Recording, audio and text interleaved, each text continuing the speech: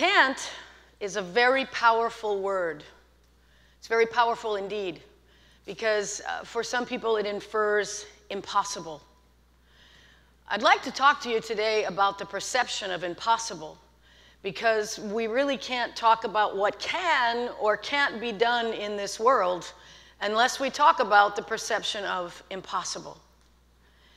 You know, when you're little, you have this incredible ability to believe that anything in this world is possible.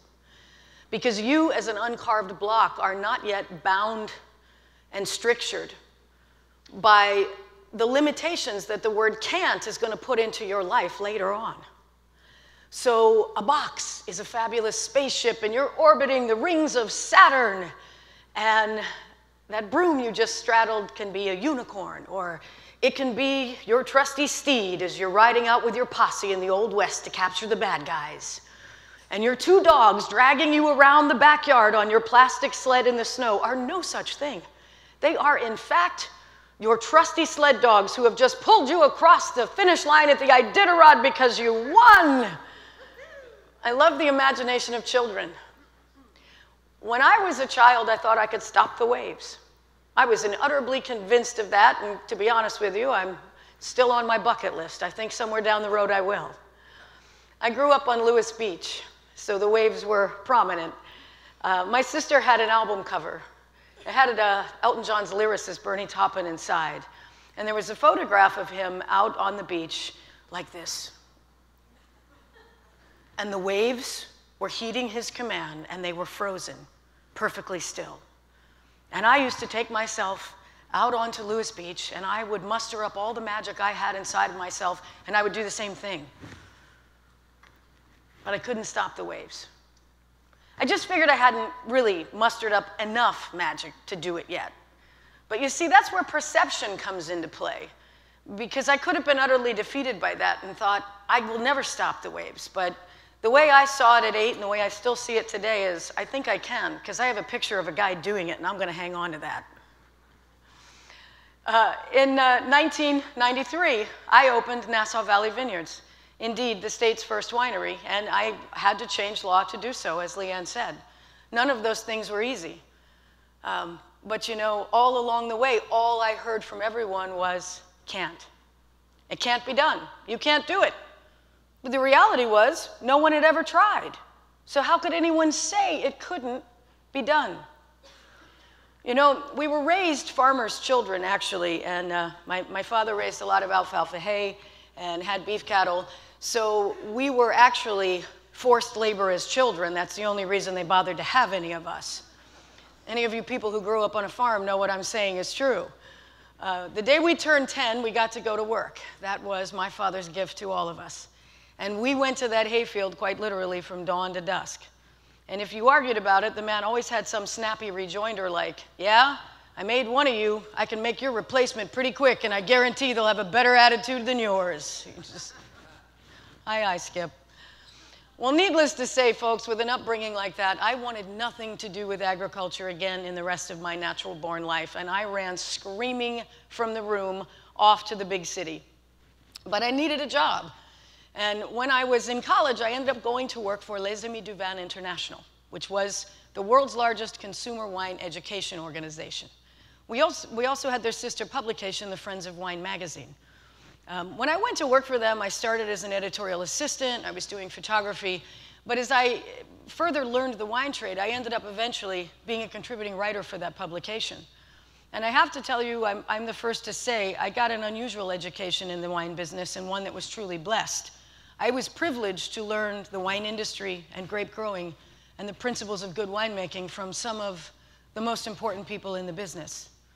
So, again, I felt very privileged about that. I also had the background of having been forced labor in the fields of Sussex County for 10 years. So, when I came back to Delaware and I noticed that we had no wineries here, I felt fairly well versed at that point to be able to say that made no sense. And in the late 80s, I moved back, and my father and I began the adventure of starting Nassau Valley Vineyards. But again, at every turn, what I heard was, can't. It can't be done. We'd put grapes in the ground and they were growing, yet people were still saying, it can't be done. When I would say to them, Why do you say it can't be done? Nobody ever had a logical response. Nobody ever had uh, any kind of response to that that made sense whatsoever. They would just simply look at me and say, Well, just because it can't. And I would say, Well, okay, have you tried and failed? Well, that was shocking. They had no response at all. And so I would ask the question again Have you tried and failed? And in great frustration, they would just say, Well, no, but that's not the point. That's not the point. You see, they perceived that it was impossible. They perceived that it, it couldn't be done.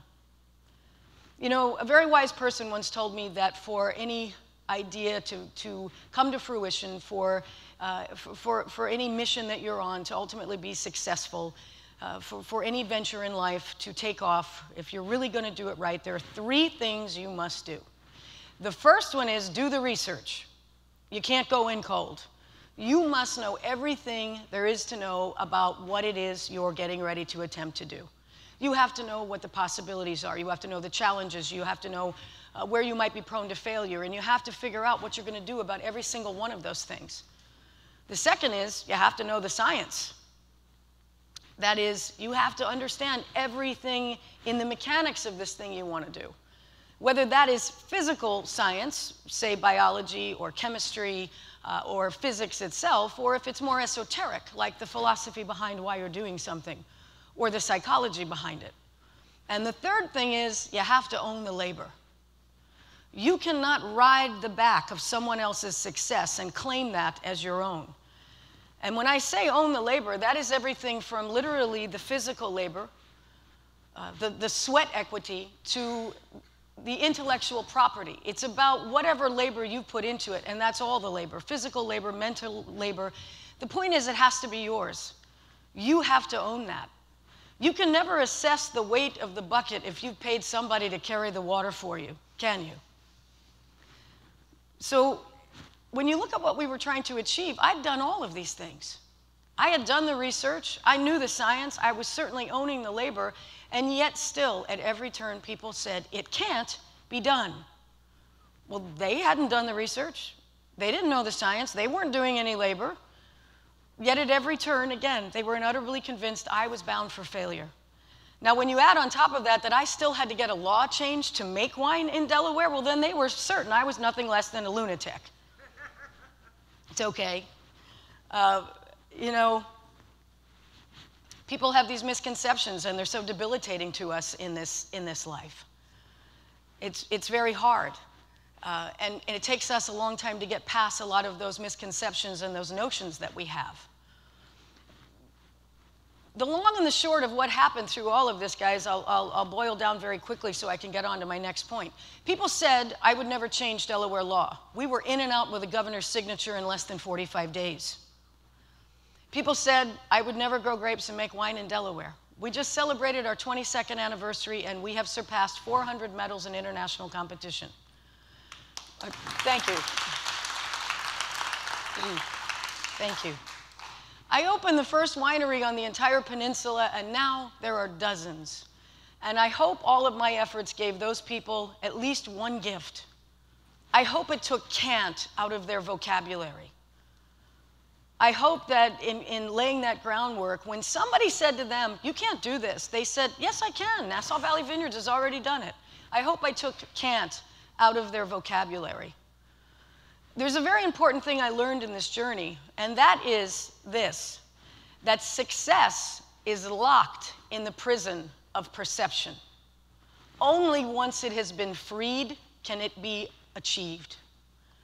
I also learned that people are so bound up in their own insecurity and in their own lack of self worth, they are ready to saddle the person next to them with their inabilities in a heartbeat. People are ready to reach out in their own insecurity and lay it on you. Why is that? Think about how many times, though, you've done it to yourself. Think about how many times you've told yourself you can't do something when in fact you've never even tried. Take that one step further and think about the knee jerk reaction you have when you do that to your spouse or your children or your coworker. When you just summarily look at them and say, You can't do that. Well, how do you know what they can do? They've never even tried. What has prompted you to suddenly show up like the guy at the balloon convention with a pin? Fear? Lack of your own self worthiness? Jealousy? Sometimes maybe it's a combination of all of those things. But it's something that we have to get past, right? You know, along my journey, fear jumped in and, and really almost sucked me out to sea with it a couple of times. There's a story I'm going to share with you today that I've kept very closely guarded for 25 years, but this is what we're talking about, so I'm going to give it to you anyway. The very first day I went to Legislative Hall to work my bill, I drove around the building all day long. I never once walked through the door. I was utterly terrified. People who know me know I am afraid of nothing. And that day, fear owned me. I rode around the building all day long. A couple of times I stopped thinking, this is, I, am just, I got to do this. I'm going to go inside. And then I was crippled with hearing all of those people who said, you can't do this. You can't do this. And as I drove back to Lewes from Dover, I was utterly ashamed of myself. And I just kept saying to myself over and over again, oh my gosh, these people are right. I can't do this. I can't do this. And then all of a sudden, I heard the words of one of my most favorite people in the world, a great teacher and mentor of mine, Jay Quinn. Anytime I ever said, I can't, to Jay, his lightning fast response was, Can't lives on Won't Street. True. I went to a boarding school called uh, Mercersburg Academy for high school. That's where I knew Jay. Uh, and in the dressing room in the theater, above the makeup mirrors, was a big giant sign that was another very famous quote of Jay's. And it was this Of course, it's difficult. If it were easy, there'd be more people here, and then where would we be? Very famous words. And I thought about that too. You know, uh, I, I came across this quote that said, A negative mind will never allow for a positive life. In that one moment, I was letting my negative mind roll all over anything positive that was going to be ahead of me. And I just had to snap out of it. And armed with Jay's words, I thought, you're right. Of course it's difficult, but it's not impossible. And the next day, I went back to Legislative Hall and I walked through those doors. Was I scared? Well, of course I was. Was I incapacitated? No way. And, you know, I walked in and the lobbyist said, Who you lobbying for, kid? And I said, Myself. And they all went, oh, Yourself? You can't do that. You have to hire one of us to do that. Again, with the word can't. Well, you know what I knew in that moment? There would never be enough money in the world I could pay those people to explain my story and tell people what was in my heart. Never. So you have to own your story, ladies and gentlemen. When, when you have fear about what you're capable of or what you're not capable of, you have to remember what's inside of you and how much you want it and how much you, you need to own it and earn it. It's, uh, it, you know, it's a pretty remarkable thing. Think about how powerful the negative animus of the word can't really is. It actually goes back to those early days of imagination and make believe. Now you're in school, and suddenly people say, Well, you can't orbit the rings of Saturn. You're a girl, and girls don't make good astronauts. There are no such things as unicorns, and you're not chasing after, or you're not in a posse chasing after some bad guy.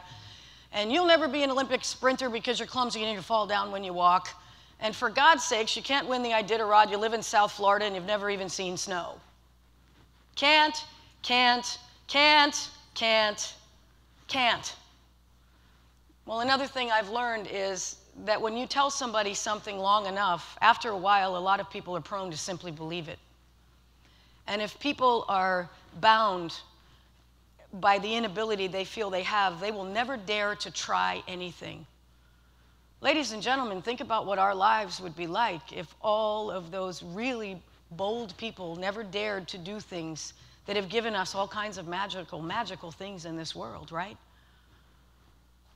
It's all about perception again. Perception is really a, a, an incredibly huge thing. Um, my perception changed on so many different levels uh, because I, I, had to, I had to have it change. That was the only thing that was going to move me forward. Perception is things like a lifelong city dweller can show up at my vineyard and see a, a, an insect and say, Oh my gosh, you have to kill that. But I see the same insect and I know that I don't have to spray poison because that bug is in the vineyard eating 10 other bugs that are detrimental to the vines or to my flower beds. You know, again, it's, it's perception.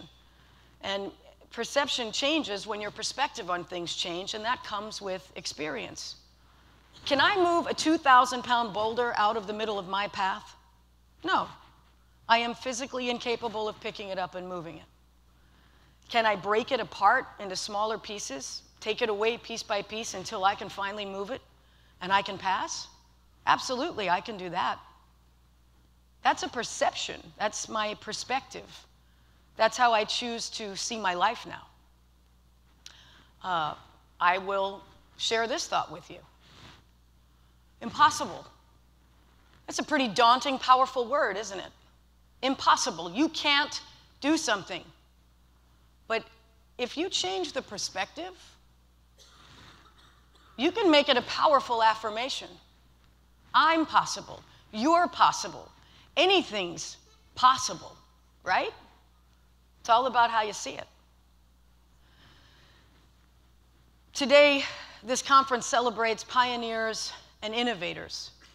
If you think about all of those people out there that could have been hindered by the word can't, the great minds of medicine, math, science, engineering, the arts, and so on and so on and so on, we would have a pretty dull world, wouldn't we? Well, I can't imagine life without them. Can you? Thank you very much.